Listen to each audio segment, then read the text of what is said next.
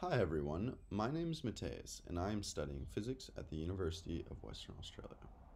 My research is focused on developing and applying quantum machine learning models. Quantum machine learning models make use of properties intrinsic to quantum systems to express an exponentially large solution space. Unfortunately, with quantum computers being an emerging technology, there is yet to be hardware sufficiently developed to actually implement the most promising quantum models. This makes classical simulation of the quantum computer necessary. However, representing a quantum state classically is very resource intensive.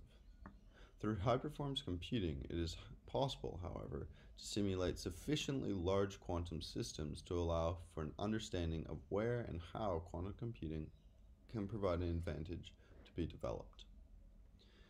My project, with Pawsey enabled the identification of trainable quantum machine learning models, an essential step for identifying promising quantum algorithms to run on quantum computers once they've caught up. This work was done with my supervisors, Professor Jingbo Wang and PhD candidate Edric.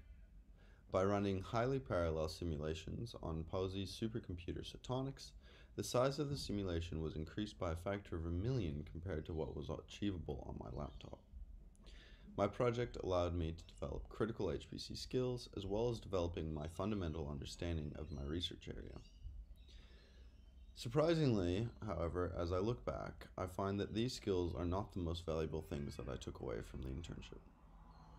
This internship gave me an understanding of HPC's capabilities and opened my eyes to how essential it is and the wonderful research that is enabled and would not otherwise be possible without it.